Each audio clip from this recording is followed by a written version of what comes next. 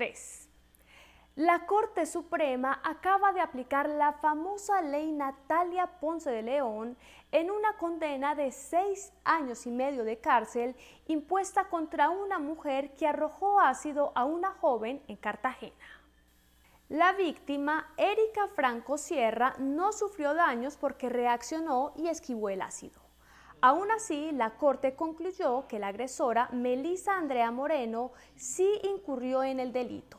La investigación tuvo en cuenta el testimonio de la víctima, la versión de dos policías testigos y el contenido de una botella en la cartera de la atacante. La Corte adicionalmente ordenó que la agresora pague una multa de más de 50 millones de pesos.